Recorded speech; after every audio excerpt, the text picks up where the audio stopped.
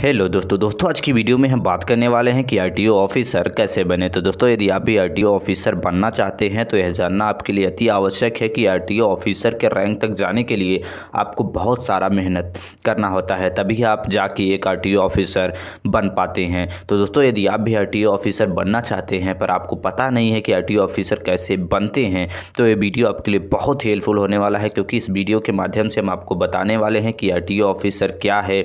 RTO officer के लिए आपके पास योग्यता क्या होनी चाहिए? आर ऑफिसर के लिए एज लिमिट क्या है? आरटी ऑफिसर के, कैसे बनते हैं? इसका एग्ज़ाम पैटर्न कैसा होता है?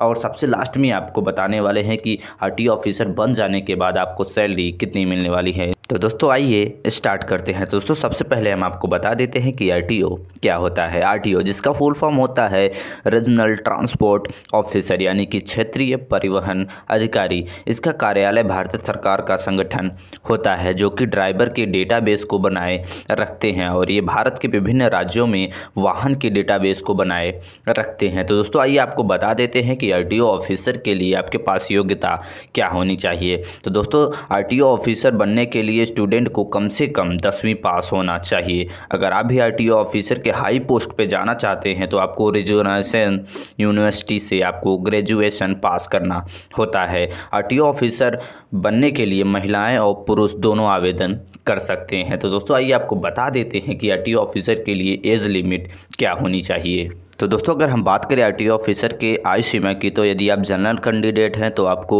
21 से 30 वर्ष आपकी आयु होनी चाहिए। यदि आप ओबीसी हैं तो आपकी उम्र 21 से 33 वर्ष के बीच में होनी चाहिए। और यदि आप एस टी हैं तो आपकी उम्र 21 से 35 वर्ष होनी चाहिए। तो दोस्तों, आइए आपको बता देते हैं कि आर ऑफिसर आप कैसे बने। तो दोस्तों आर ऑफिसर बनने के लिए सबसे पहले आपको इसके फॉर्म को अप्लाई करना होता है, यानी आपको आवेदन करना होता है। आवेदन करने के बाद आपको जो, दो एग्ज़ाम देना होता है। दो एग्ज़ाम देने के बाद आपका इंटरव्यू लिया जाता है। इंटरव्यू को क्वालिफाई करने के बाद आर ऑफिसर आप बन जाते हैं। तो दोस्तों, आइए आपको पूरी डिटेल्स में बताते हैं कि आपको पहले क्या करना होता है।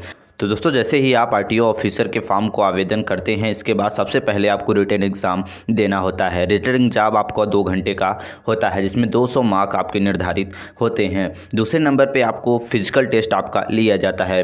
लिखित परीक्षा के पास करने के बाद आपका फ़िज़िकल टेस्ट लिया जाता है, जिसमें आपको फिजिकली फिट होना होता है। तीसरे नंबर पर आता है आपका इंटरव्यू दोनों ही एग्ज़ाम को पास करने के बाद आपको इंटरव्यू होगा, जिसमें आपकी बुद्धि क्षमता, मूल्य और गुणों को आधार पर आपकी जाँच किया जाता है। इसे क्लियर करने के बाद आप एक आर ऑफिसर बन जाते हैं। तो दोस्तों, आइए आपको बता देते हैं कि आपको आरटी ऑफिसर बनने के बाद आपको सैलरी कितनी मिलने वाली है।